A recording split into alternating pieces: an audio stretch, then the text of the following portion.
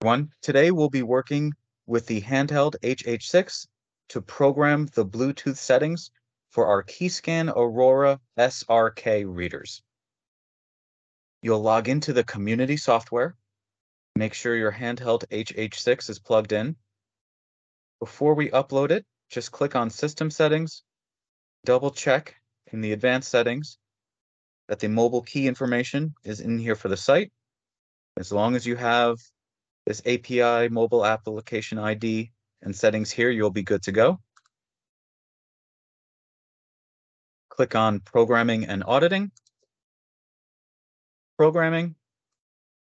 And you can upload either the entire site or at very least one door, does not matter what door it is, and click Transfer. Depending on the amount of doors used, could take a few seconds to a minute or so. Once it's been uploaded, unplug it, and we'll go over to the door.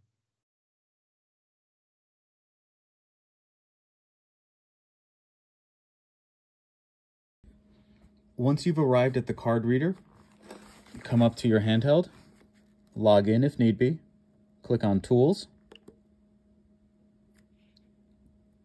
Program Reader, program Keyscan BLE. Make sure you have your handheld with the appropriate cable. The part number for the cable is COMM-71800-1. It'll plug into the bottom of your handheld. And The other end will program will plug into the card reader. Now make sure you follow the prompts. Connect the reader, then press OK. We'll plug this into the card reader and press OK.